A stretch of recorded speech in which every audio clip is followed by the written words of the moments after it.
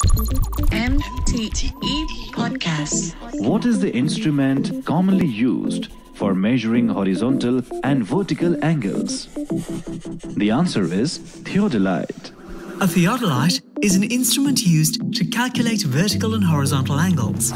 Today, they can be seen used by teams across building and construction sites. You can't miss them. They'll usually be perched on an orange or yellow tripod. In the old days, theodolites were used by governments to survey large areas of land. This was to ensure the accurate representation of terrain on maps. It became necessary for government agencies to create fixed points from where coordinates could be triangulated. This is how triangulation stations, or trig stations, were born.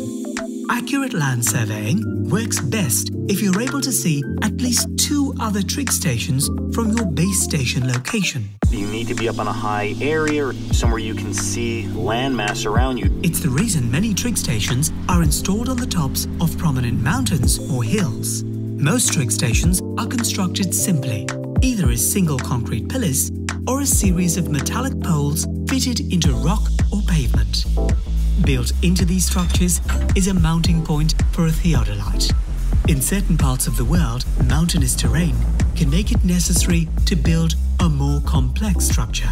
Such is the case with one trig station in the central highlands of Sri Lanka. It's just over an hour's tuk-tuk ride from the city of Kandy in a town called Gampola. We are going to Ambuluwawa. Gampola is most famous for the Ambuluwawa Biodiversity Complex. This complex is touted as being the nation's first multi-religious sanctuary, home to a Muslim mosque, Hindu kovil, Catholic church, and stylized Buddhist stupa, also known as the Ambuluwawa Tower. The Ambuluwawa Tower is 3,560 meters above sea level, making it the perfect spot for a theodolite. This tower, like all good trig stations, offers 360 degree views of its surroundings. Visitors can climb into the clouds for spectacular views of mountains, forests, and rivers. The ascent to the top is via a narrow spiral staircase on the outside of the structure. So narrow is the staircase that designed into the center of the tower itself are tiny cave-like burrows. They serve their purpose when your climb to the top is met by someone on their way back down. Simply step inside the burrow to allow the others to pass. Most trig stations are straightforward constructions. They serve as simple navigational guides for explorers. The Ambuluwawa Tower, on the other hand, offers an experience. The temple dates back to the 13th century. It was built during the time of King Bhuvanekabahu IV and was at the center of the Gampola kingdom all through his reign.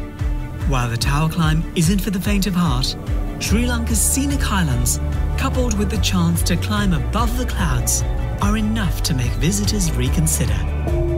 This episode of MTE Podcast was designed to take you on a journey to the Sri Lankan highlands.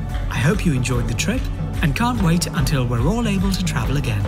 MTE Podcast is produced by me, Niall Fernandez.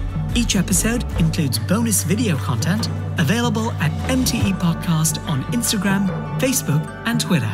Thanks for listening. Chat next week.